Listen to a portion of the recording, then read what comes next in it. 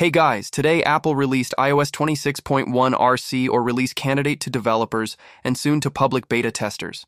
For developers in what is now a weekly release, and there are actually quite a few changes in this version, which we'll take a closer look at in this video.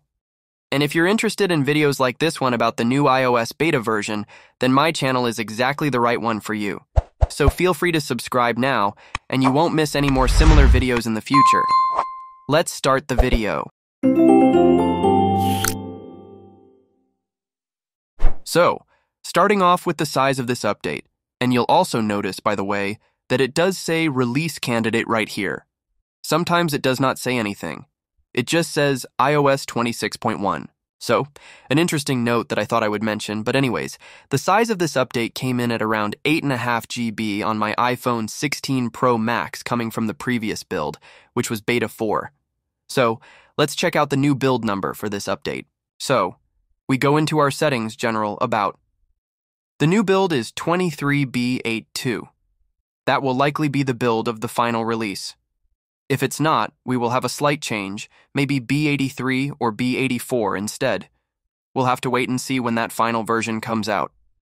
But as far as the modem firmware for the iPhone 16 or 17 series, now along with this release, we also got the RC version for iPad OS 26.1, Watch OS 26.1, Mac OS Tahoe 26.1, tvOS, and Audio OS 26.1, along with Vision OS 26.1. But of course, like always, we are talking about iOS 26.1 RC in this video. Alright, so now what's new here in iOS 26.1 RC? And the first thing you might notice when you actually get this software updates in your settings is that there is no change log. Typically with the RC release, we'll have a more info button down here that will allow us to see the full change log from Apple about what has changed in this update. And the first thing I want to mention has to do with the music application, and that is that the auto mix feature now works over AirPlay. Okay, so if you have the auto mix feature turned on, where of course it turns your iPhone essentially into a mobile DJ, like your own personal DJ with auto mix that now works over AirPlay. But of course, easily one of the biggest changes in iOS 26.1 is going to be inside of our settings. If we go into the display and brightness section, we have liquid glass. So, this is a brand new toggle where you can choose your preferred look for liquid glass, whether that's clear or tinted, more of like a frosted glass. You can also see this very good inside the music application when you're scrolling right here, and also with notifications on your, you know, notification center right here.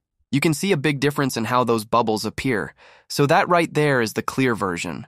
But if I go to tinted, you can see how these look. It's a very different look when you go the tinted route with liquid glass, so some people might prefer this. And now you have the option to change that. Another new feature in iOS 26.1 that seems to have been improved with the RC build is inside of music.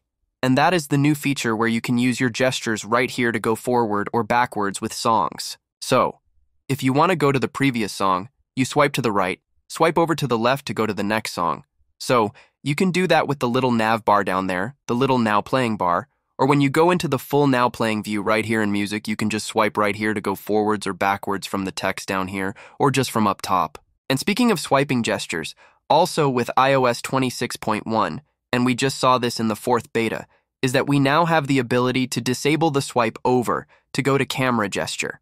So you can see that when I'm swiping over here from the right hand side, we do not pull up the camera like we used to be able to do for a long time. But some people didn't like that we had, you know, that we had that option to do that. So if you go into the camera settings here and you scroll down near the bottom, we have this new toggle that says lock screen swipe to open camera. So that is now an option. So if you have that on by default, that will allow you to swipe over to go into camera. That is on by default, by the way, of course, because that is the expected, you know, gesture that everybody's been used to for a while. But you can now turn that off, which is nice.